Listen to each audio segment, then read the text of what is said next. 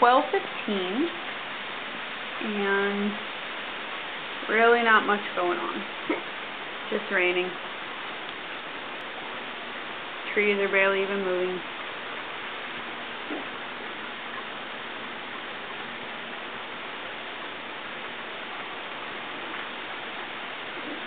Yachty's not even fazed by it. Yachty! Say hello! Yeah.